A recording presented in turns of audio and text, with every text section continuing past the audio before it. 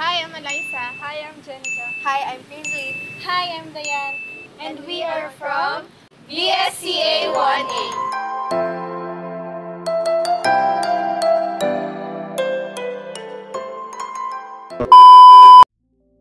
Kamusta kayo? How college life treating you?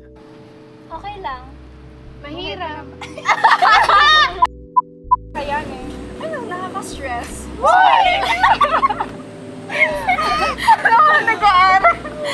Surviving!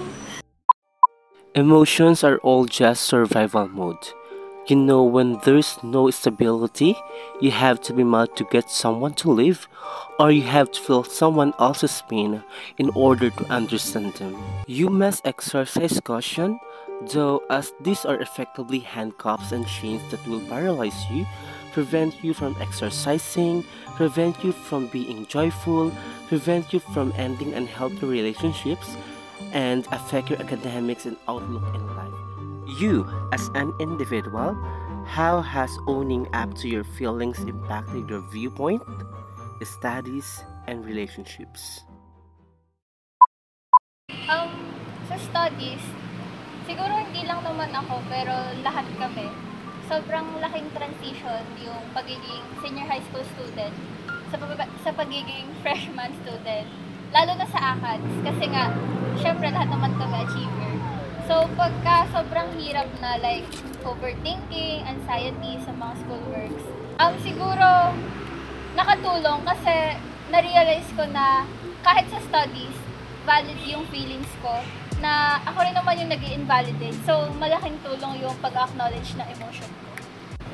Adjusting to life as a college student ay hindi madali. Dahil, kagaya nga rin sabi niya, hindi siya kagaya nung senior high na pwede unahin mo lang ipag-chill. Pero ngayong college na, napakahalaga na unahin at seryosohin ang pag-aaral. Ah, natuto akong i-validate yung feelings and emotions ko na ano, sa bilang college students na iba talaga yung environment ngayon kaysa sa high school. Na parang nung high school medyo okay lang yung mga pinapagawa. Ngayon as in bunton-bunton talaga na mabibigla ka na lang sa mga gawin as in hindi pa tapos yung isa meron na uling limang gawain. Tapos yun, natuto kong i-validate yung emotions ko na as a student, we also have different, ano, yung buhay, hindi lang umiikot yung mundo natin sa studies or puro ACADS. We also need to take a rest and take a break from our ACADS if we feel stress and pressure. Um, sa akin naman sa studies, um, nagkaroon talaga ng positive impact yung pag-acknowledge ng emotion ko on my learning experience. Especially now, first year pa lang ako, um, inaware ko din talaga yung sarili ko before na baka ma-culture shock ako or something, ganyan. And when it comes to ACADS kasi ako yung na-pressure sa sarili ko, hindi yung parents ko. Like to do better, to always strive for more. Pero ayun, as I acknowledge my emotion, um, nagkaroon ako ng mindset na chill ka lang girl, gano'n, relax ka lang. Kasi, ano, doon mo, doon mo mamamanage yung stress mo as a student. Ay naman, um, sa, sa when, it com- when it comes to study, uh, since since high s- since elementary and high school, uh, I'm yun, achiever. So, uh, kahit sabihin ng parents ko na wag mong i-pressure yung sarili mo. Pero syempre, di ba pag nakikita mo yung parents mo na kausap mo lang through phone, kahit pa, for example, sinabi mo na mawala ako sa dean's list, something like that. Kita mo yung um, wor- worries or uh, disappointment sa, mat- sa mukha nila. That's why uh, mahalaga sa akin yung acknowledging emotions when it comes to studying since ako lang naman sa sarili ko yung nag-aaral, di ba? I mean, sarili ko lang yung sasandalan ko. Ganun. That's why um, mahalaga ding magkaroon ng circle of friends sa college life. For example, kayo. Kasi nga, um, uh, ina-uplift nyo ako, for example, hindi ako, ganun, I'm, nahihirapan ako. Lagi kayo nandyan. Lagi nga sinasabi na, kaya mo yan. Gawin nga lang to! How does acknowledging your emotions affected your perspective? So yun, sa perspective ko, na-validate, ah, na-validate ko din naman yung emotions ko and napakalaki din ng lessons na ibinigay ng acknowledging emotions sa akin. Kasi natuto ako kung paano ko i-handle yung sarili ko when times get rough na kunwari, um, na sasabra na ako sa galit, sa sa lungkot, sa saya, sa excited, or sa stress and pressure. Ah, natuto akong ah, paano ko i-handle when ganun yung nangyari sa akin, kung paano ko pakakalmahin yung sarili ko.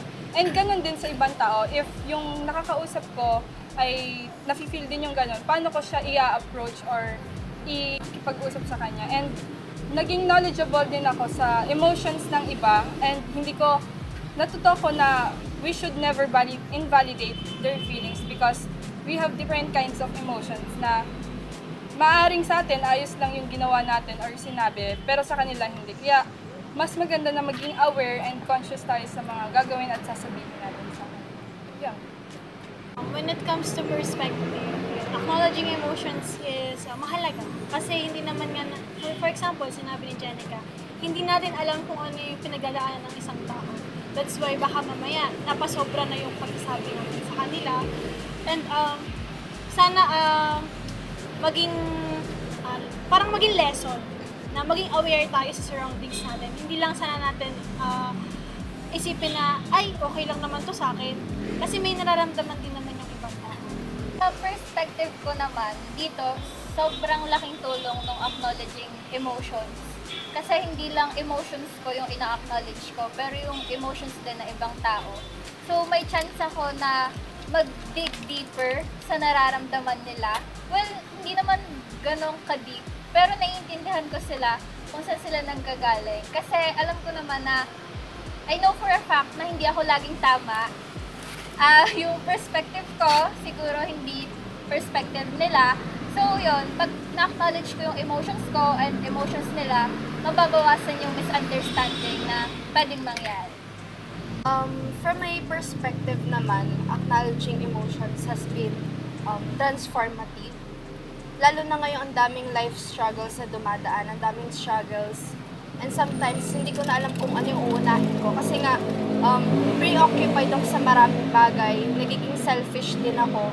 Pero, ayun, as I recognize my emotions, ayun, um, nagkakaroon ako ng mindset na kung ano yung dapat kong unahin na nag-a-align sa values at saka sa goals ko. Yun, as a student, my perspective of my emotions and life is a part of my self-awareness. Upang ma-acknowledge ko ang aking mga emosyon, una kong pinapansin yung nararamdaman ko. Binibigyan ko ng oras yung sarili ko para mag-reflect at magtanong na kung ano ba talaga yung tunay kong nararamdaman sa iba't ibang sitwasyon. Ito yun, I'm learning to understand my decisions and how they affect my decisions. How does acknowledging your emotions affected your relationships? In terms of my relationship naman, um, acknowledging my emotion has deepened my connection with others. Um, to be honest kasi ako yung tipo na tao na hindi talaga pala open, hindi ako yung nagra-rant, hindi ako yung nagsasabi ng feelings ko sa iba, even sa loved ones ko, kasi wala lang, ayoko magpakita ng ganong side ko. Pero as I take time to recognize my feelings, my emotions, ayun, nag-improve din naman yung communication skills ko. And it enabling me to um, express myself honestly and um, also listen to others with genuine empathy. Ang sa relationship naman, inaamin ko na hindi pa ako ganon na tulungan nung acknowledging my emotions. Katulad dun sa dalawang nauna. Kasi parang katulad ni Kitche, hindi rin ako ganon ka-vocal na tao. Minsan, may ghosting face ako na bigla na lang mawawala. Tapos yung emotions ko minsan, pinapakita ko through actions, hindi words. Na parang yon confusing sa ibang tao. So siguro, sa pag-acknowledge ng relation, ng emotion ng ibang tao, like pag nag sila, naglalabas ng hinanakit, doon siguro na-acknowledge ko yung emotions nila. Pero sa sarili kong emotion, hindi ko pa siguro ganun nagagawa. Hindi pa ganun ka-deep.